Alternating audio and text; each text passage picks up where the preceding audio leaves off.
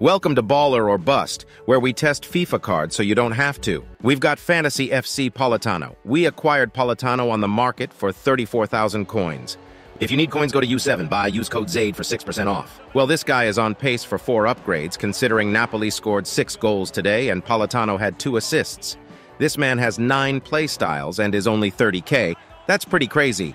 He's got Trivela Plus, which is still very good, He's also got finesse shots, so he's got great finishing playstyles. If you can green time them with him, he's got a really good shot. Now for passing, he's got incisive pass, pinged pass, and whipped pass with decent vision and curve.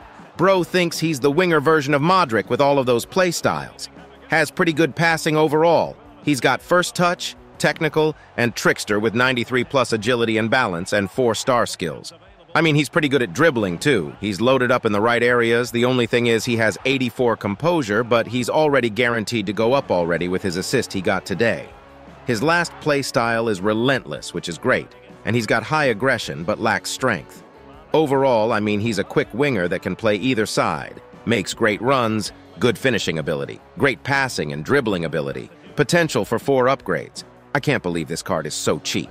The cheapest 91 rated is 50k and he's sitting down at 35k right now for all you investors.